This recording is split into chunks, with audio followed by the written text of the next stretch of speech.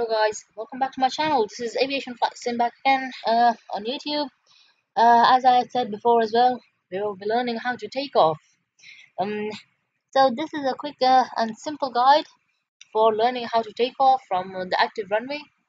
Uh, I'll be posting another video soon uh, where we will start from the terminal. It will be a detailed video. We'll start from the terminal, taxi all the way towards the runway, and then take off. So that will be uh, little bit later. First, uh, let's uh, learn how to take off uh, pretty easily just from the active runway. I'll be just showing a little bit of panels, a little bit of uh, the autopilot settings, and that's all, and then we'll take off. Just before we get started, I would like you to please subscribe to my channel, uh, give it a big thumbs up, and any questions you have uh, regarding with FSX, um, so let's get into the cockpit and let's prepare our aircraft for takeoff.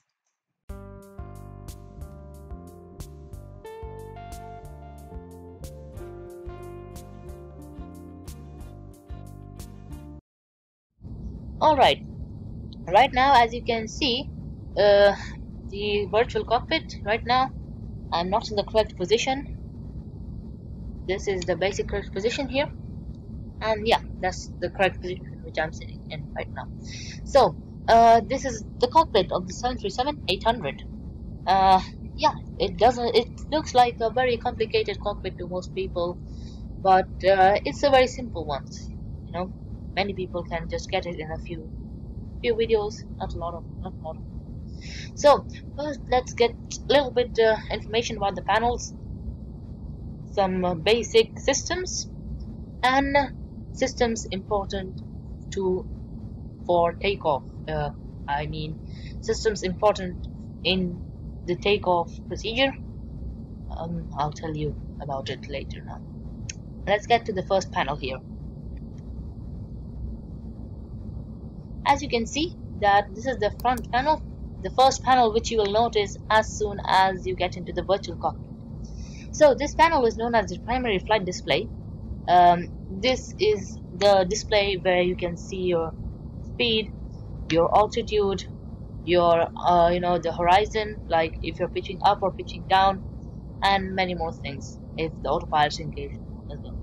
So let's go from the left side to the right side. Uh, then even will do for all uh, the things we'll be learning today.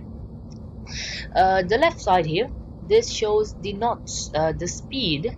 Right now we're not moving, so it's zero zero knots. Zero knots. No speed. Uh, this pink color 280, which you can see over here, I will show you how it changes. All right. So when we learn with the autopilot, I will tell you what is this 280 where did it come from. Let's go to the right side you can see that the bigger gauge over here. Um, this is the artificial horizon uh, indicator.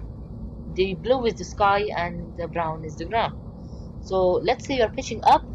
Um, basically in nighttime flying or with bad weather conditions this is very helpful. Um, it shows you whether you're pitching up or down. So if there is more sky that means you're pitching up.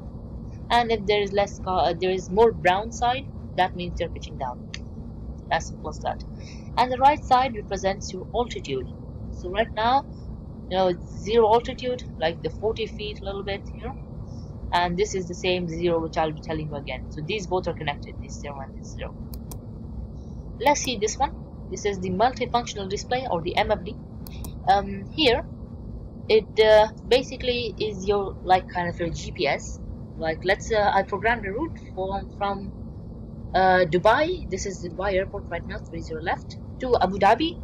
So this uh, dotted pink color line will be re replaced by another opaque pink color line. So that would be my route towards Abu Dhabi. It's very easy. And this heading 300 so this is the 300 heading is of 300 but this pink color line also represents our which these all are connected with the autopilot as well Let's get to the autopilot panel now.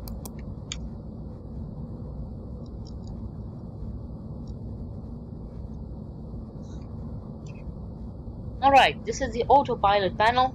Um, so let's start. Let's start from this side. I'll be including this side if you can see the cursor. to all the way to the vert speed to the right side here We'll not include the course now alright so as you can see I have put some figures there. 280 in the IAS and Mach section. IAS represents your indicated airspeed alright and this is the A-T arm. This is the auto throttle arm. So auto throttle basically defines for itself. It is the automatic throttle which is controlled by the automatic pilot which is installed in the planes. So if I'm gonna change the speed let's say let me program the speed of 295 knots and you can see it has changed to 295 knots. So this represents the speed or the altitude set in the autopilot alright? So you can't arm the speed button. This is the speed button which helps uh, tells the autopilot that now you're controlling the speed. So for that you need to switch on the automatic throttle button and then you need to press the switch speed button. I will show you more of that when we are ready to take off. Let's go to the right side here. This is the navigation and GPS switch. Let's put it here. So again I'll program the rule from Dubai to Abu Dhabi.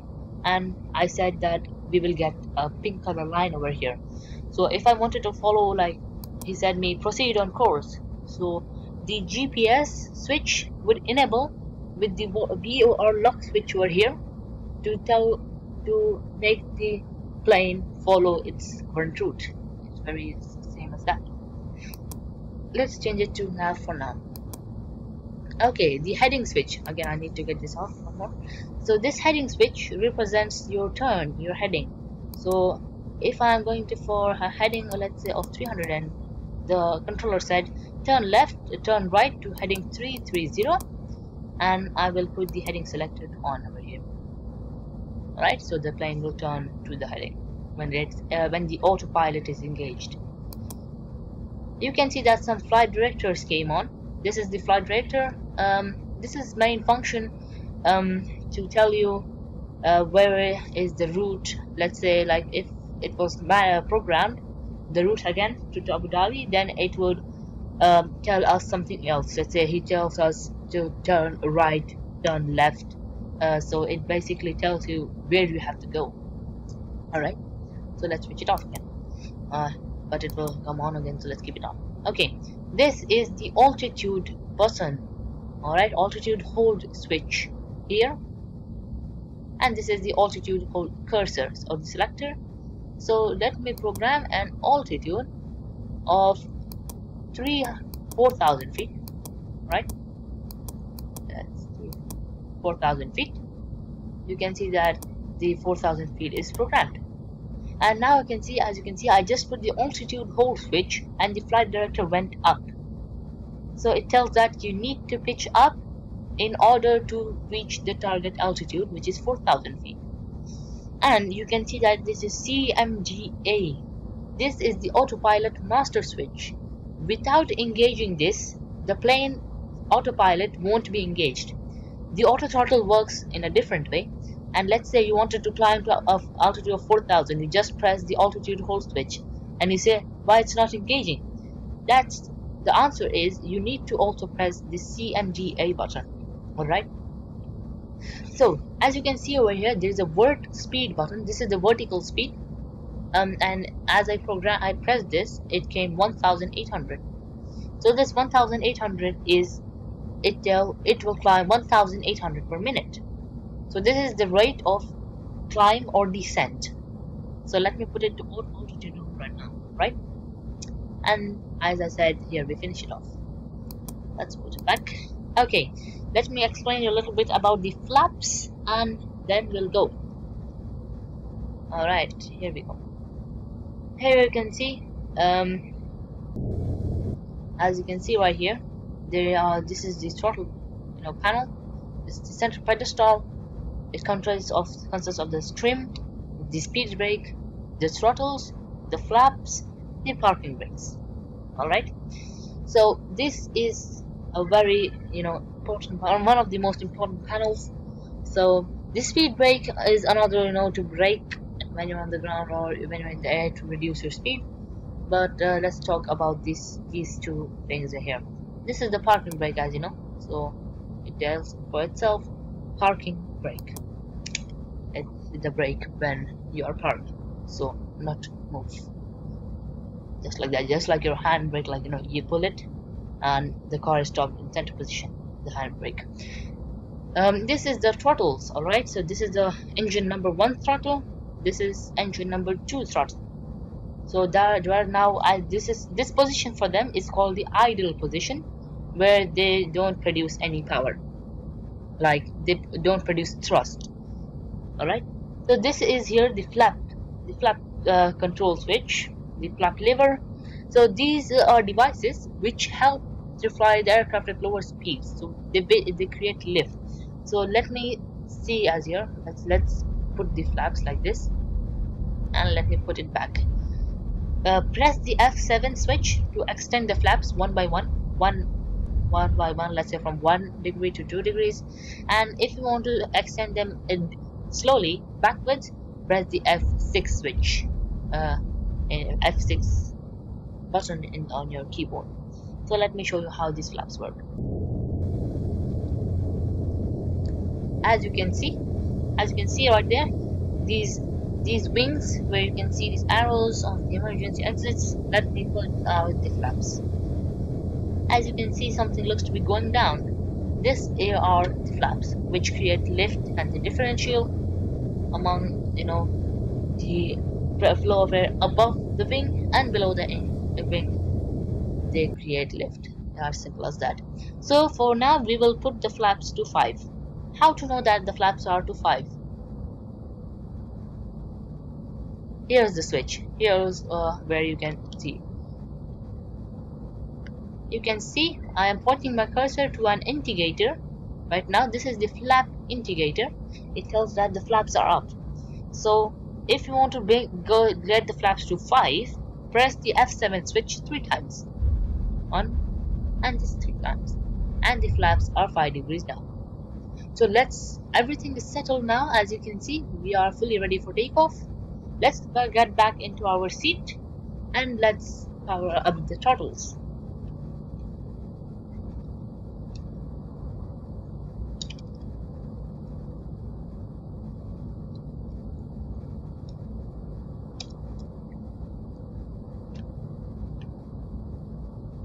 Alright, we are fully ready for takeoff now.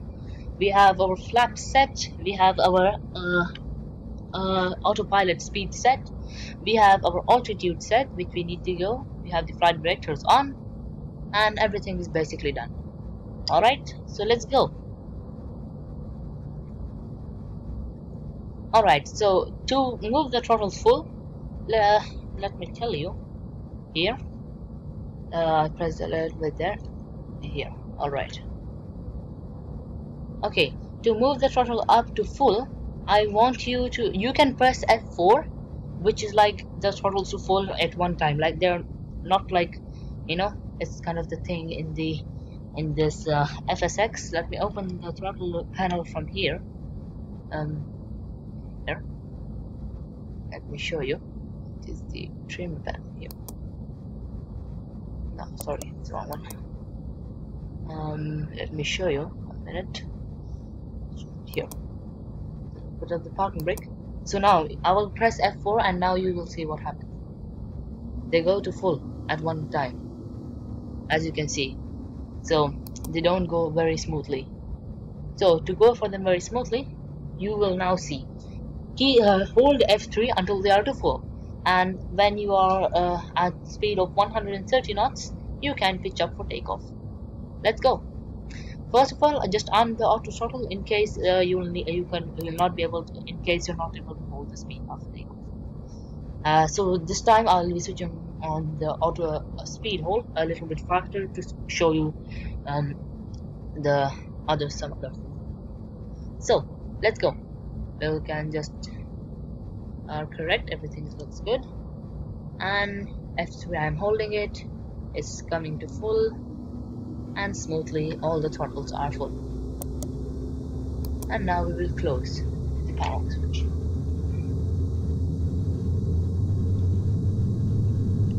Alright, now it is coming 80 knots. Have some more to go. 100 knots. And we are going to reach 130 now. This time you can lift up for takeoff.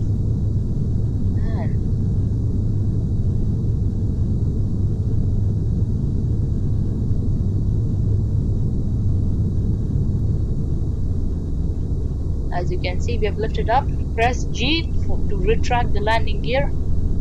And you can press F5 on the thing for uh, extending the flaps getting them back a bit on the higher side press the speed hold switch for the speed hold. And you can see that the speed hold is on. And if you want you can go to the um, main uh, 2D cockpit for the altitude autopilot. Or from here as well you can just press that CMD A button. And the autopilot is activated. So the plane will pitch down a little bit right now. Because uh, the uh, where, where I was going was very high like I was being at the or like 4,000 feet. So that's why uh, the plane pitched down. Please don't forget to like share and subscribe the video. And again if any questions regarding it and uh, if you're subscribing I'll be putting more videos uh, uh, pretty often. So the next one is navigation. And stay tuned. Guys I'll meet you in the next video